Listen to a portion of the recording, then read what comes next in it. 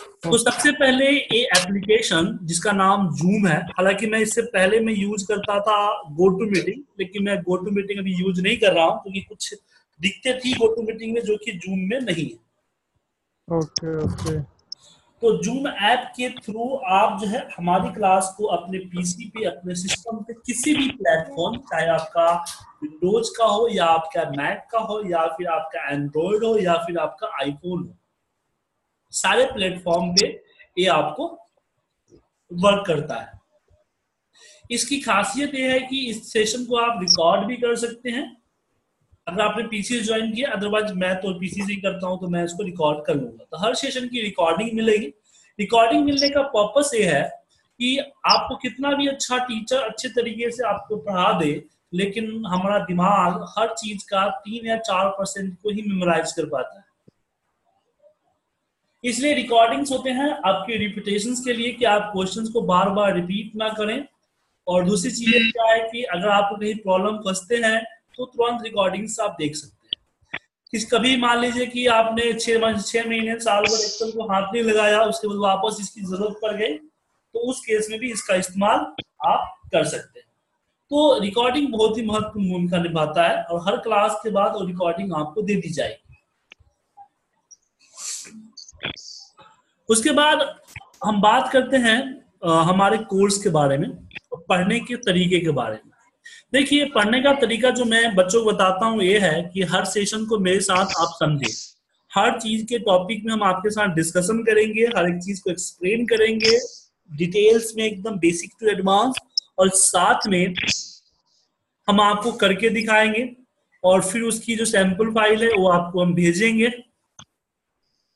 और उसके बाद जो है आप उसी सैंपल फ़ाइल को आप अपने सिस्टम पे डाउनलोड करके मेरी रिकॉर्डिंग को देखते हुए आप रिपीट करेंगे। तो सबसे पहला काम क्या होगा कि आप हमारे सेशन को पहले अच्छी तरीके से देखेंगे, सीखेंगे, फिर उसको वीडियो के ज़रिए रिपीट करेंगे। उसके बाद उस पर रिसर्च करेंगे। मैं हर स्टूडेंट से कहता हूँ कि एवरीडे आप फाइव क्वेश्चंस प्रिपेयर रखें मुझसे पूछने के लिए। क्वेश्चंस के लिए ही मैंने अपने बैच साइड को छोटा रखा हूँ। एक से पाँच बच्चों का बैच में रखा हूँ, ताकि मैं हर बच्चों का, हर क्वेश्चन का आंसर दे सकूँ। अगर मैं पंद्रह बीस बच्चों का ग्रुप रखता और हर बच्चे ने अगर दो दो क्वेश्चन पूछ लिया, हर एक क्वेश्चन पे मान लीजिए अगर पाँच मिनट का भी टाइम लग गया, या दो मिनट का भी टाइम लग गया तो क्लास के लिए टाइम बचेगा ही नहीं। सारे क्वेश्चन आंसर भी निकल जाएँगे। इसलिए मैंने बैच साइज़ को छोटा रखा है। ताकि मैं हर हर स्टूडेंट के क्वेश्चन का जवाब दे सकूँ। ठीक है? और ये ट्रेनिंग क्लासरूम से बेटर है, क्योंकि तो क्लासरूम में आपको सारी फैसिलिटी नहीं मिलती है जो कि यहाँ मिल रही है। जैसे कि स्मॉल साइज़ बैच अपने अपने हिसाब से कनेक्ट कनेक्ट कर रहे हो अपने घर से, अपने घर में बैठ के ट्रेवल टाइम बच रहा है। जो ट्रेवल टाइम बच रहा है, उसको आप यूज़ करोगे प्रैक्टिस में। तो इसी तरह से इसका इस्तेमाल करके आप जो है अपने घर से इसको लर्न कर सकते हो। दूसरी चीज़ क्या है कि जो ट्रेनिंग आपको देता है वो वर्किंग प्रोफेशनल्स होते हैं। मैं जो ट्रेनिंग दे रहा हूँ मैं भी वर्किंग प्रोफेशनल्स हूँ मेरे पास साथ टीम है वो भी है। तो उससे फ़ायदा क्या होता है कि ना ही आपको एक्सेल से एक्सेल के बारे में एक्सेल के टॉपिक के बारे में आपको बताते हैं साथ में वो अपनी एक्सपीरियंस को भी आपको शेयर करते हैं।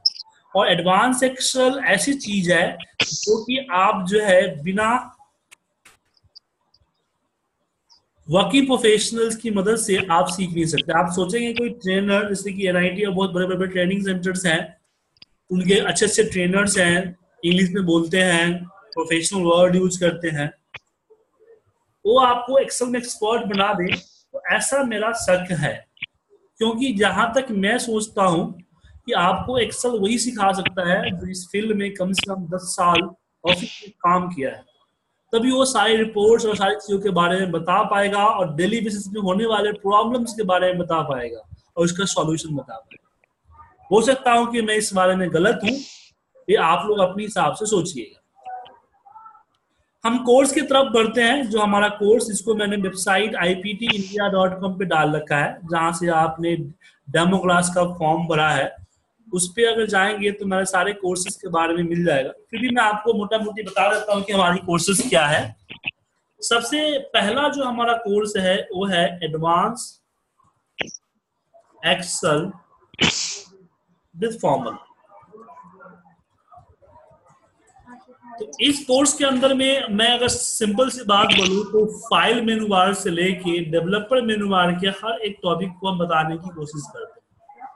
फॉर्मूले में आपको दो दो सौ से ऊपर फॉर्मूले एरे फॉर्मूले डायनेमिक चार्ट फॉर्मूले की ट्रिक्स ये सब चीज़ों के बारे में हम बता इन शॉर्ट में कहूँ तो एक इस इस जो कोर्स है, जो है advance Excel for working professional या फॉर्मूला जो भी कर लीजिए, इसमें आपको एक्सेल का हर एक चीज़ कवर हो जाएगी इनबिल्ड चीज़ कवर हो जाएगी। अगर इसके बारे में जानना चाहते हैं तो कोर्स आउटलाइन पे क्लिक करेंगे। तो यहाँ पे आपको दिख जाएगा कि कैसे यहाँ पे क्या क्या कवर होने वाला है डिटेल्स में। तो पहला हमारा ए है दोस्त कोर्स दूसरा हमारे पास जो है, वो है Excel VBA macros power programming इसमें हम आप, अब बात आती है, कुछ बच्चे पूछ देते हैं कि जब हमने लेवल वन में मतलब कि पहले कोर्स में हमने एक्सल के हर एक चीज़ को सीख लिया तो बचता क्या है? तो हमने बोला आपको एक्सल की इनबिल्ड जो माइक्रोसॉफ्ट ने आपको इनबिल्ड करके दिया है, सारे फ़ंक्शंस फॉर्मूले और जो भी कमांड्स है, उनके बारे में हम आपको बोल रहे हैं।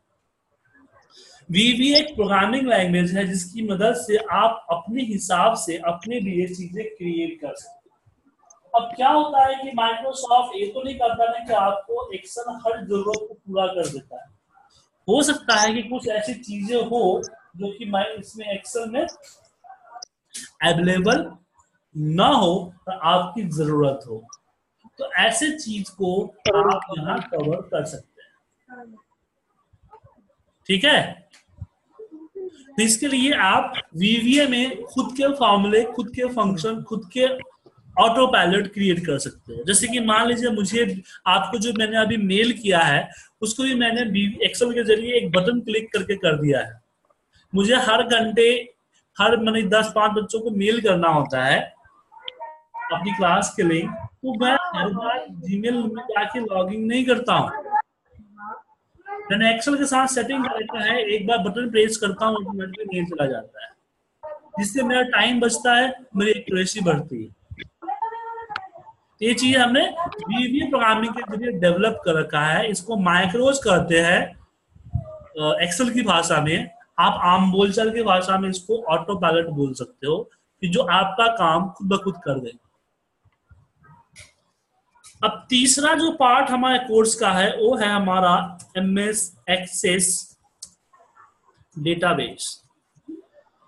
अब बोलेंगे, सर, एक्सेल के कोर्स में एक्सेस को कौन इंक्लूड कर दिया? दो चीज़ें हैं। सबसे पहले कि कुछ ऐसे काम हैं जो कि एक्सेल बड़ी लंबी तरीके से करता है या होता ही नहीं है, एक्सेस उसको आसानी से करता है। दूसरी चीज़ वीवीए को डेटाबेस की कनेक्टिविटी के लिए चाहिए सिक्वल सिक्वल कनेक्टिविटी चाहिए। तो उसकी प्रैक्टिस के लिए एक्सेस आपके लिए एक बहुत अच्छा प्लेटफॉर्म है क्योंकि सिक्वल सर्वर और बाकी जो है पीएचपी वगैरह हर किसी के पास नहीं होते तो वहाँ पे हम एक्सेस का इस्तेमाल करते हैं। तो ठीक है?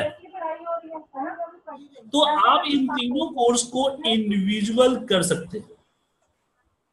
या फिर एक साथ कर सकते अब क्वेश्चन आता है कि इनको सीख के हम करेंगे क्या? चौथा क्वेश्चन है यहाँ पर यहाँ पर हमारा ये है एडवांस एक्सल कंप्लीट कोर्स ये हमारा।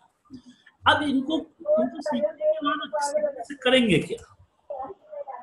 तो बेसिकली एक कोर्स डिज़ाइन है एमआईएस रिपोर्ट ऑटोमेशन कि आप अपने ऑफ़िस के अंदर में इन सारे टूल्स और सारे नॉलेज की मदद से जो रिपोर्ट्स बनती है? क्या होता है? मैनेजमेंट इंफॉर्मेशन सिस्टम एक ऐसा सिस्टम जो मैनेजमेंट को इंफॉर्मेशन प्रोवाइड करती है जिससे वो डिसीज़न को आसानी से ले सकते फॉर एग्ज़ाम्पल कि आप कॉल सेंटर में काम करते हैं। अब प्लीज़ म्यूट कर लें आपके बैकग्राउंड से शोर आ रहा है। इशाब जी। तो मैंने कर दिया।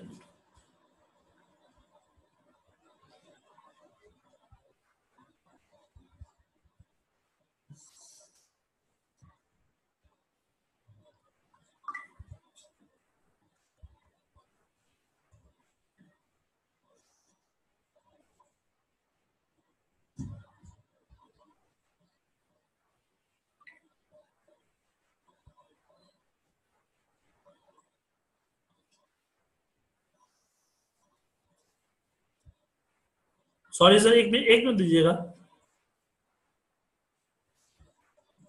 सॉरी हाँ। तो हम बात करते हैं इसमें कि हम करेंगे क्या।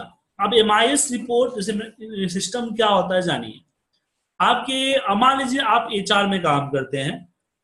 एच आर में आप एचआर में काम करते हैं। नहीं, आप एच मान लीजिए कॉल सेंटर में काम करते हैं। जैसे कि आप जस्ट डायल को जानते हैं? तो एक एलो पेजेस डायरेक्टरी है, जहाँ पे यूज़र कॉल करके किसी भी आदमी का एड्रेस वगैरह ले सकता है। एड्रेस फ़ोन नंबर वगैरह ले सकता है। जैसे मान लीजिए कि आपको पिज्जा हट साउथ एक्स का नंबर चाहिए, आपको पता नहीं है तो जस्ट डायल को आप ले सकते हैं कहा के इशाब जी आवाज़ आ रही है मेरी? ये लो हैंड को लगाया जाता है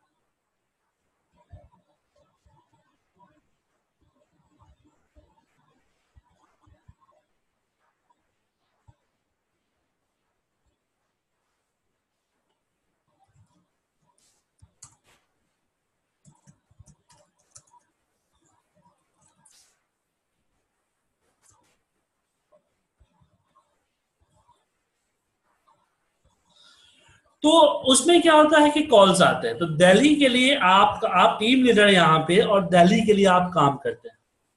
दिल्ली में आपको आ, हर माने कि हर दिन का पंद्रह पंद्रह सौ कॉल्स आते हैं और आपके बाद जो है मान लीजिए कि बारह बंदों की टीम है। तो अपनी कंपनी के एचओडी ने बोला कि आपको दिल्ली के साथ साथ जो है हम गुड़गांव भी देते हैं। और गुड़गांव का जो कॉल्स एक्सपेक्टेड है, वो आपका पैंतीस सौ आएगा। तो आपको कितने नंबर ऑफ़ एम्प्लॉय की ज़रूरत पड़ेगा? अमित जी, आप बताइए सर कैसे कैलकुलेट करेंगे आप? कैसे बोलेंगे कि मुझे इतने बंदे की ज़रूरत है? उसको हम्म। फिफ्टीन हंड्रेड में ट्वेल्व बंदे चाहिए, और थर्टी फाइव हंड्रेड में? नहीं है कि जो ट्वेल्व बंदे हैं, वो काफ़ी है दिल्ली के लिए। ज़्यादा या कम भी हो सकते हैं। तो इसका इस्तेमाल होगा डेटा से कॉल्स डेटा से। सबसे पहले हमें एनालिसिस करना पड़ेगा A H E average handling time समझे? कि एक कस्टमर को एवरेज कितना टाइम देता है हमारा? जो टेलीकॉलर है। तो पता चला कि 90 सेकेंड्स राइट और मेरे पास 12 बंदे हैं मतलब कि 8 मल्टीप्लाई बाई 12 8 मल्टीप्लाई बाई आठ घंटे है नौ घंटे का शिफ्ट है इसमें से एक घंटे का लंच है, और आठ घंटे हम उसका वर्क लेते हैं। तो 96 आवर और इसको मल्टीप्लाई बाई सिक्सटी करते हैं तो मिनट, और इसको मल्टीप्लाई करते हैं तो सेकेंड समझ गए?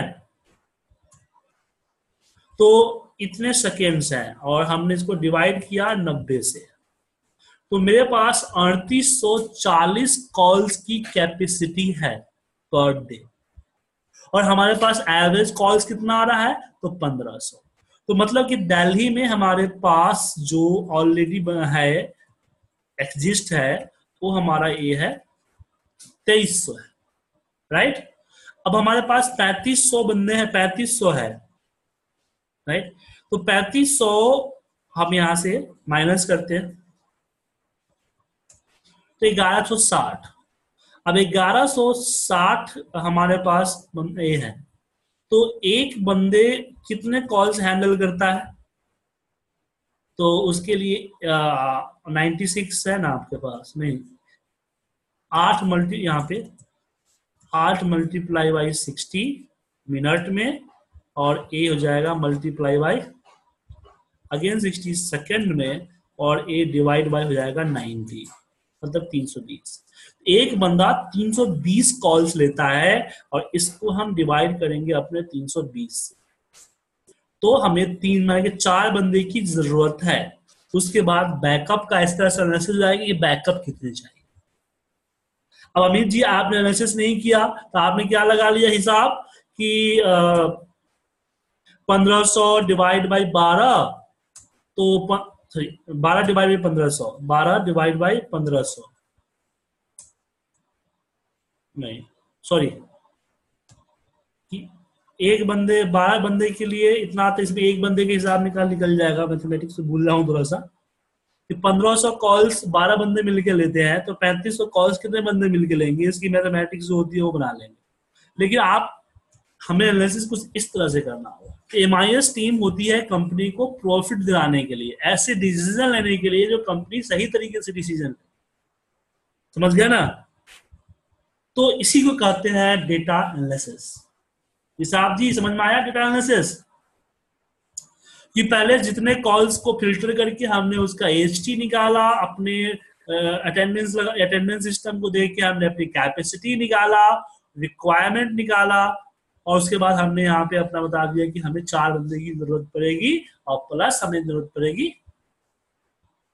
तो एक एंगल तो ये हो गया। दूसरा एंगल होगा कि अब, अभी क्या है कि ट्वेंटी फोर इंटू सेवन है। तो इसमें क्या है कि मान लीजिए रात को नौ बजे के बाद लेके और सुबह नौ बजे तक जो है, वो कम कॉल्स आते हैं। बट सुबह नौ बजे से लेके दोपहर के मतलब कि दो बजे तक काफ़ी ज़्यादा कॉल्स आते तो इन बारह बंदों को इस तरह से अरेंज किया गया है ताकि कॉल अवेंडेड ना हो। मतलब कि कॉल छूटे ना। तो क्या उस पैटर्न पे चार बंदे की ज़रूरत पड़ेगी या ज़्यादा ज़रूरत पड़ेगी? तो उस पैटर्न के हिसाब से भी कैलकुलेशन करना पड़ेगा आपको। और हर एंगल से आपको कैलकुलेशन करके एक इंफॉर्मेशन एक रिपोर्ट बना के बॉस को भेजना होगा। बॉस आपका हर एंगल से उस रिपोर्ट को समझेगा, देखेगा देन डिसीज़न लेगा कि how many people hire for the Gurgaon Amit ji. हाँ जी। मैं सही बोल रहा हूँ? हाँ सही बात बोल अभी जैसे ए तो होगी आपकी कैपेसिटी के हिसाब से चार बंदे चाहिए राइट अब प्रॉब्लम क्या है कि फिर आपको निकालना पड़ेगा आवर्ली रिपोर्ट्स कि आवर्स कि बारह रात के बारह बजे यहाँ पे एक बजे दो बजे तीन बजे एवरेज कॉल्स कितने आते हैं? तो एवरेज कॉल्स इसमें पाँच आते हैं, इसमें पंद्रह आते हैं, इसमें छह आते हैं इनमें दस आते हैं। ऐसी पूरा सिस्टम चलेगा। रात के वापस बारह बजे तक, समझे? और ए एवरेज कॉल्स हो गया और ए आपका हो गया टेलीकॉलर। यहाँ पे एक टेलीकॉलर है, दो टेलीकॉलर है। अब पता चला कि सुबह दस में एवरेज कॉल्स जो है सात सौ आता है। अब सात सौ आता है तो इसमें दो बंदे सात सौ हैंडल नहीं कर पाएँगे ना। इसके लिए तो मुझे यहाँ पे आठ बंदे हायर करने पर रखने पड़ेंगे ना। क्योंकि एक ही घंटा में कॉल्स का रेडियो बढ़ गया, क्योंकि इसका रेशियो बढ़ने के कारण क्या हो गया कि 700 मल्टीप्लाई बाय 24 घंटा। तो पर डे कॉल्स का लिमिट जो है 16,800 चला गया। तो मुझे इसके हिसाब सोच के रखने पड़ेंगे। कि 700 कॉल अटेंड करने के लिए कितने ज़रूरत पड़ेंगे? सात सौ डिवाइड बाई नाइन्टी सेकेंड्स सात बंदे चाहिए इसमें। सात समझ गए? तो इस इस एंगल से भी आपको निकालना पड़ेगा और आपके बॉस को देना पड़ेगा। इसी को बोला जाता है डेटा एनालिसिस प्रोडक्ट कोई प्रोडक्ट है, उस पर इंसेंटिव हमें इंसेंटिव का परसेंटेज लॉन्च करना है। तो इसी तरह से एनालिसिस होता है कि कितना इंसेंटिव मैं दूँ तो कितना हमारा खर्चा बढ़ेगा एक्सपेक्टेड सेल क्या होनी चाहिए, उससे प्रॉफिट कितना जनरेट होगा और प्रॉफिट और प्रॉफिट और प्रॉफिट हमारा नॉर्मल विदाउट इंसेंटिव क्या प्रॉफिट है? विथ विथ इंसेंटिव क्या प्रॉफिट आएगा? दोनों का क्या ग्रोथ परसेंटेज है? जैसे मान लीजिए ना कि अभी आपका जो है सौ सौ क्वांटिटी बिक रहा है, जिसपे आपका जो है दस रुपए का प्रॉफिट है। राइट आपने बोला कि भाई, तुम ज़्यादा सेल करो, हम तुमको ज़्यादा इंसेंटिव देंगे। तो पाँच सौ रुपया आपका बढ़ा। और पाँच सौ रुपया बढ़ा मतलब कि आपका और आ, आपका जो प्रॉफिट जो है पाँच सौ सेल हुआ तो आपका प्रॉफिट पचास हो गया। और पता चला कि आपने क्या किया चालीस इंसेंटिव दे दिया। एंड द लास्ट आपकी प्रॉफिट तो दस ही बचा ना तो क्या फ़ायदा हुआ? फ़ायदा तो नहीं हुआ ना? तो कितना इंसेंटिव का परसेंटेज रखें जिससे सेल बढ़ेगा और सेल बढ़ने से हमारा प्रॉफिट गेन होगा कि अगर हम 500 सेल होता है तो 500 सेल में प्रॉफिट हमारा 50 हुआ तो हमारा खर्चा जो है यहाँ पे 35 होना चाहिए इंसेंटिव पैंतीस या 20 होना चाहिए, तभी तो हमें 30 प्रॉफिट होंगे, तभी तो इंसेंटिव का बेनिफिट जाएगा। तो इस तरह की एनालिसिस जो है करेंगे। तो मैं आपको रफली बता रहा हूँ, लेकिन इस तरह की इंसेंटिव्स के लिए आपको डेटा मुहैया कराया जाता है। जैसे कि सेल्स का डेटा सेल्स की मुहैया करके सेल्स के डेटा कॉल्स के लिए आपको कॉल्स का डेटा मुहैया कराया जाएगा।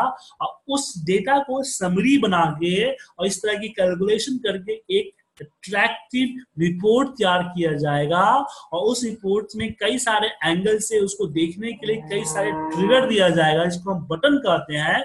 और फिर उस बटन पे क्लिक करके देखने वाला यूज़र हर एंगल से रिपोर्ट को देखेगा। इसको हम लोग केपीआई रिपोर्ट भी देते हैं की ऑफ़ परफॉर्मेंस इंडिकेटर अलग अलग की के ज़रिए परफॉर्मेंस को इंडिकेट करने वाला रिपोर्ट भी कहा जा सकता है। लेकिन इन सबको करने के लिए आपको एक्सेल की नॉलेज चाहिए बीवीए की नॉलेज चाहिए।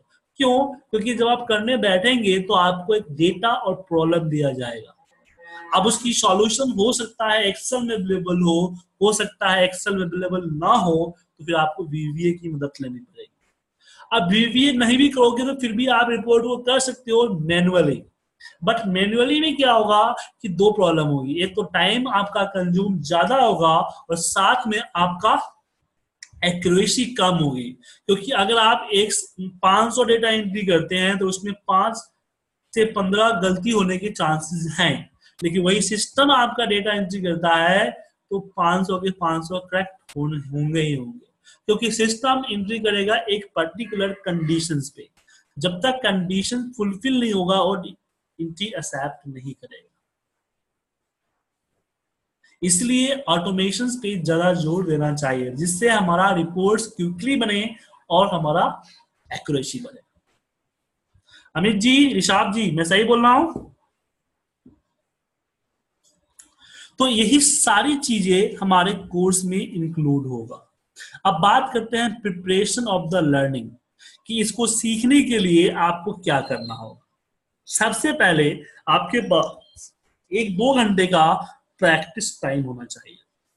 अब आप ये बोलोगे मैं ऑफ़िस में एक्सेल पे ही काम करता हूँ तो मैं वहीं पे प्रैक्टिस कर लूँगा। जी नहीं।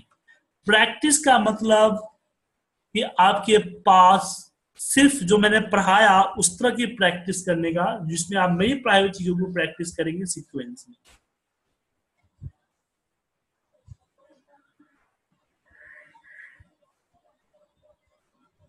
ठीक है? तो प्रैक्टिस के लिए टाइम का होना ज़रूरी है।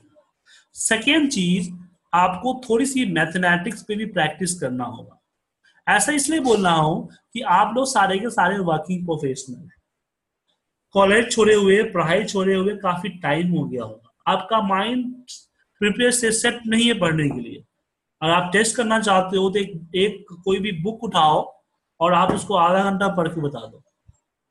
हमें लग रहा है कि आधा घंटा से पहले आपको नींद आ जाएगी या फिर आँखों में जलन होने लगेगा।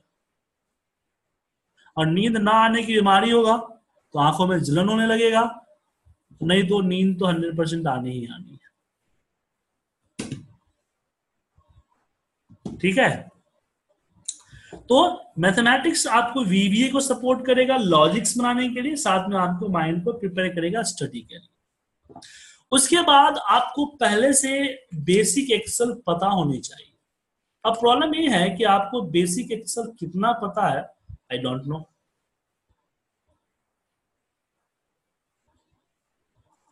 तो उस केस में हम आपको एक लिंक भेजते हैं जो कि लेवल टू जिसका नाम है। शायद आपने, हो सकता है तो आप देखे होंगे हमारे वेबसाइट पे। सॉरी यूट्यूब पे। मैंने ये यूट्यूब का लिंक है मेरा ही है। ये प्री रिकॉर्डेड वीडियो है जो कि चार घंटे, चार पाँच घंटे का है। जिसमें एक्सेल के बहुत सारे बेसिक कंसेप्ट को हमने किया हुआ है।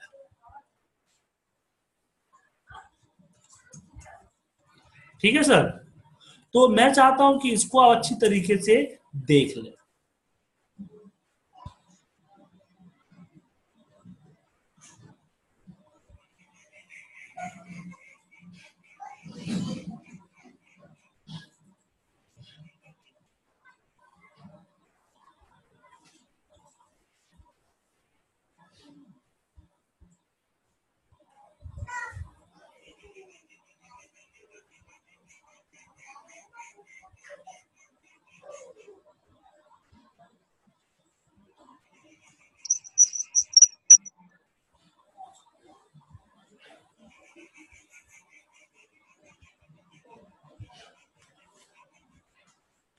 तो मैं ये आपको मेल कर रहा हूँ।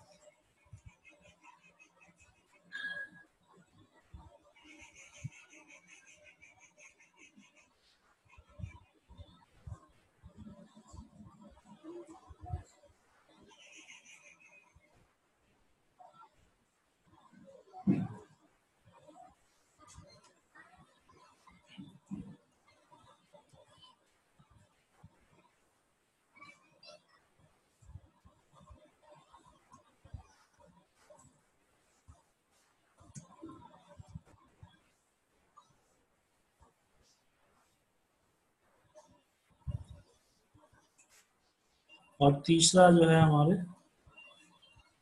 पेशाब जी हैं।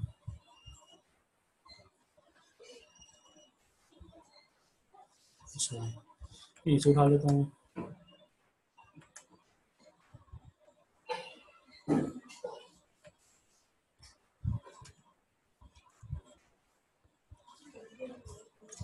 तो ये रिकॉर्डिंग जो है, आप लोगों को मैं भेज देता हूँ।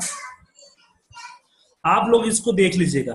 ये चार पाँच घंटे की वीडियोज़ है तो डाउनलोड होने में टाइम लगेगा। ठीक है? तो आप इसको बिना डाउनलोड करने, करके ही देखिए तो सही रहेगा।